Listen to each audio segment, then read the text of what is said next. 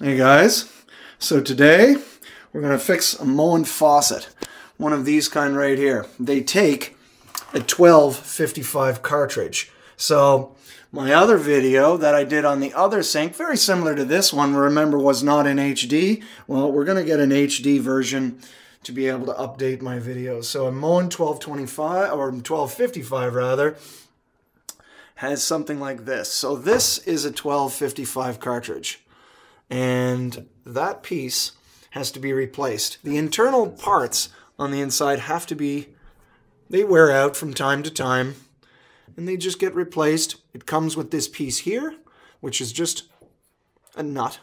And then of course you've got a replacement retainer screw that holds on the handle and you get the Allen key. So let's take it apart. But this was less than six months. That's right. That's right. Not even six months ago. So in this case, because you guys recognize the kitchen, I built this kitchen, and now we have a Moen problem. So this drip, this is dripping. So step one is to change the cartridge.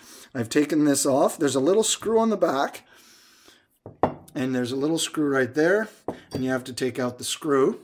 And then there's this up here. So this is just a piece of plastic and now we have to be able to pry this off. And it just comes off. No screw, no unscrew, nothing. It just simply comes off. And then we have this.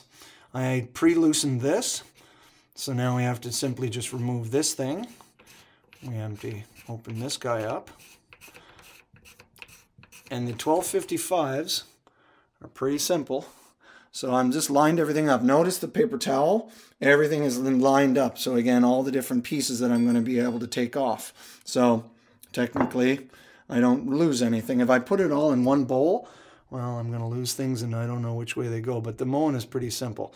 This is a keyed thing, you can see. This piece only goes in one way. It's small little bumps on the sides and they can only go in one way. So that's the old one. And you can see on the inside where the water is able to pass from one port to the, to the others. And now we simply put in the new one. So of course we line up the bumps on the back side and it simply slides right in place. And then we have the retainer nut and that just simply goes right in place. And we line that up and we tighten this down and we get that nice and tight. We're going to have to tighten this up with a wrench. And eventually the same sort of thing. We're simply just going to replace the plastic. That piece goes in place and we're going to tighten up this screw with the Allen key provided. That's it basically guys. Real simple stuff. So a Moen faucet with a 1255 is a pretty simple one. So anyways guys, SAN 379 out.